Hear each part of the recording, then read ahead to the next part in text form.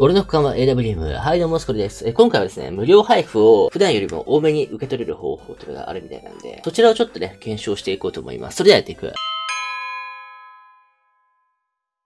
はい、というわけでやっていくわけなんですけれど、それがですね、今回、まあ、スター勲章っていう、まあ、その星を交換することで、ま、いろいろアイテムもらえますよっていうイベントあるでしょう。まあ、これを活用するっていう方法なんですよね。ちょっとま、早速ね、今から活用してみようかなと思います。それが、え、こちらの方ですね、一気に10個交換するんじゃなくて、例えばガチャチケット今あるでしょう。を9個交換するんですよね。で、9個、まず購入しますよ、今から。いきますね。これで、こう押すでしょ。押してから、1回交換して、で、10個までの制限なんで追加あるのは1個だけでしょ。なんですけれど、この状態からさらに、もう一回、購入できるっていうね、こういう方法があるんですよ。で、これさらに、ここで、ってのはできないんですけれど、2回交換できるっていう、これやばくないですか？この方式を使うことによって、まあ、なんとですね、普段よりも多めに、まあ、ガチャチケットとか購入できるっていう風になっているんですよね。ですので、まあ、もしもそのガチャチケ増やしたいなっていう人、まあ、勲章とか、あとはその、春休み限定のガチャとか、まあ、入ってると思いますけれど、もしもこれらが、まあ、多めに欲しいなっていう風に思われている方は、まあ、今の方法を使われてみてはいかがでしょうか。一応その制限がかからない状態だったら使えるっていう。例えば、今9個交換したでしょ。10個目に行くと制限かかっちゃうんで、9個まで交換しておいて、残り1個なんで、購入制限がまだかからないから、今の方式で購入できるっていうですね。これやばくないですか？結構やばいですよね。まあそういう感じになってるんで、例えば、まあ金獣とかは当然あれですよね。無理ですよね。金獣の場合は、1回購入したら、まあ、次購入できないんで、無理なんですけれど、2個以上購入できるものに関しては、この裏技使えるっていう風になってますから、まあ気になる方、うん、まあこうやってね、僕みたいに、ザークン賞の方を貯められている方は、今回の頃ですね、裏技の方を使われて、まあ多めに交換されてみてはいかがでしょうか。はい、というわけで今回も皆さんの疑問や質問に答えしていこうかなという風に思います。で、まずこちらですね、スカーワークショップに残り期限書いてないんで、ガチャ終了後でも進化できるっていう認識で大丈夫ですかねと。と思うじゃないですか。ですけれど、問い合わせたら期限付きですって言われるパターンがあるんで、あの、本当のその拡張期限知りたいって方は、問い合わせした方がいいと思いますね。じゃないとわかんないんで。この間ね、ちょっとスキン忘れたんですけれど、なんかのスキンが、その問い合わせしたら、もともと期限書いてないのに問い合わせしたら、期限付きですっていう風に言われたパターンがあって、まあ、そういうこともあるんで、まあ、問い合わせの方をまずされてから確かめた方がいいと思いますね。で、次ですね、リーグ戦とかの爆死みたいなやつ、コインが引き継がれませんでしたと。まだ3ヶ月ごとって書いてますからね。はい。いつからいつまでっていう期限書いてるんで、まあそれを見てプレイされた方がいいと思いますよ。今回更新されまして、中身の方も美味しくなってるんで、まあその辺とかもですね、確認してやっていけばいいと思います。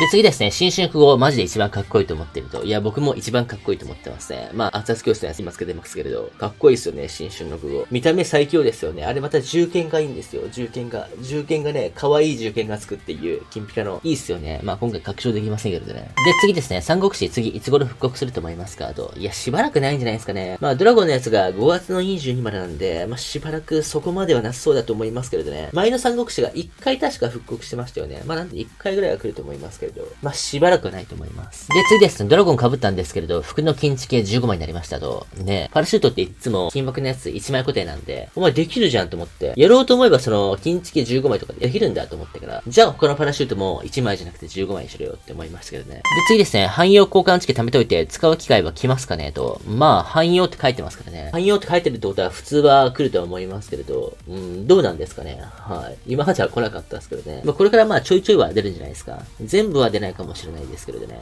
次ですね、電動の交換ショップに水晶一つで交換できる金獣って追加されると思いますかと。まあ今のところしてないですけれど、まあね、いつかは電動ガチャ更新するんで、まあそのタイミングで交換のショップとかもいろいろ追加されるんじゃないですか。うん、それはまあガチャと合わせてですね。そろそろまあガチャの方もね、最近更新してないんで、まあいろいろ更新されそうですけどね。はい。そろそろされそうかなっていうふうには思いますね。で、次ですね、ナイス数は持ってますし、相手にも味方にも聞こえませんよと。まあね、なんかコメント欄で逆取ったんですよ。もうこれナイスって相手に聞こえるんじゃないのっていうキルボイスの方ですね。まあ普段はほぼ聞こえないですね。ほぼ聞こえないですけれど、もうこれナイスって実はめっちゃ近くやったらたまに聞こえる時がありますね。なんでか知らないけれど、めっちゃ近くに敵がおる時はたまに聞こえます。謎の仕様っすよね。あいつだけなんですよ、その仕様あるの。まあただこの仕様を確認したのが結構前なんで、今は変わってるかもしれないですね。で、次ですね、刀は金額だから十字架なるの神と、ね、今回の新しいドラゴンのガチャ、刀ね、一応まあ、その、武器扱いなんで、被ると金付けになるっていうですね、そういう仕様ありますね。まあ、ただその、ガチャ自体の確率がめちゃくちゃ優秀ってわけではないんで、まあ、優秀っちゃ優秀なんですけれど、金付けを作る上においては、まあ、別に他と比べてめちゃくちゃいいわけではないんで、目立った活用方法ってのが今のところないっていうのがね、まあ、そんな、あれっていう。まあ、一応その、汎用交換通貨余っていて、もう特に使い道もないよっていう方が、ガチャを回す際に、その汎用交換通貨を先にですね、まあ、刀の方に変えておいて、そこからまあ、被せを狙っていくことによって、まあ、金付けは作りやすいっていうですね。1枚多めに自分が持っている汎用交換通貨を、まあ、10チケットに、まあ、実質交換できるっていうですね。まあ、そういうことってのは、まあ、できなくもないっていう感じにはなってますよね。